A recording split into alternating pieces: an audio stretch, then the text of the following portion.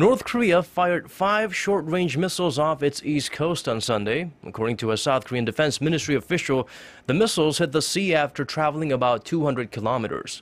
The reclusive regime frequently fires short range missiles as part of military drills, usually to demonstrate its military prowess when feeling pressured by the outside world. The latest firing comes ahead of a large scale South Korea U.S. military drill scheduled for March. While the two allies have said it time and again, the annual exercises are defensive in nature. Pyongyang sees the drills as a rehearsal for war.